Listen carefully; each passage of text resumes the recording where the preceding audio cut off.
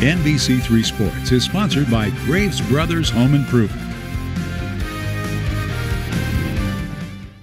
Welcome back into the news at 11. I'm Tommy Sladak. Here's the scoop on SU men's hoops. Do they make the tournament if the season ends today?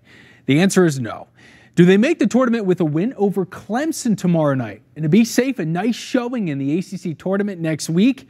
My gut and guess say yes. Now, even if SU loses to Clemson, there's there's still a road to get to the bubble. That just means a, you know, bigger run in the ACC tournament. What can really bite SU is how much the committee uses the formulas and analytics because the Orange are the unfortunate poster child of how these metrics can really hurt a team's chances. But you cannot deny and ignore that the Orange is playing its best basketball of the season. They've won five of their last six. And through the ups and downs, coach Adrian Autry says his team, they do a great job of taking this season one game at a time. This team is really um, kind of blocked out the noise, um, good or bad, um, and just kind of approached every game and approached it to win the game and not letting anything linger over from the past game.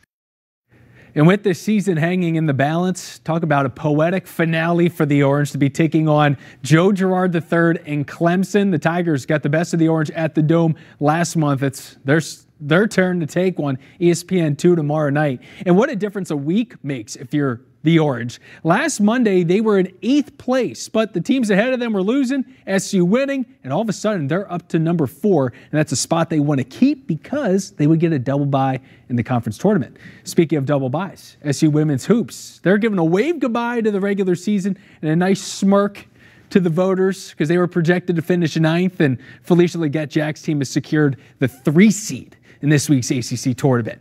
Take that. SU earns a double bye. That's an express pass to the quarterfinals. The tournament starts later this week in Greensboro.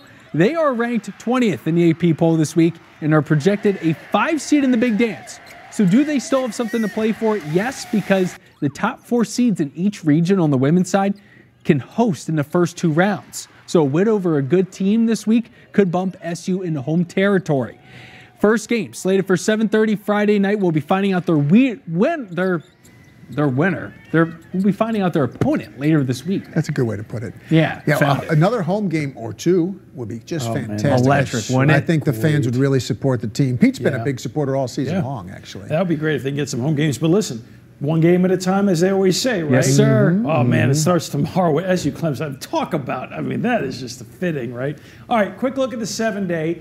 So the best chance of the wettest weather most often is east and southeast. Not that far away, by the way. We're going to go around 60 Syracuse with a chance of some rain, probably around midday if it happens. Otherwise, wetter more often Wednesday. Matt. Only 60 tomorrow? Come on. That's NBC3 News at 11. Thanks for joining us. I'm Matt Mulcahy. Have a great night. We'll see you later on.